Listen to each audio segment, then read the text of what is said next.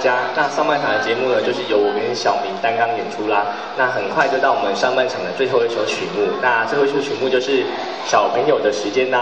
啊，什么曲子呢？我就不讲，放出来小朋友就会高兴，哎，很高兴，好不好？好。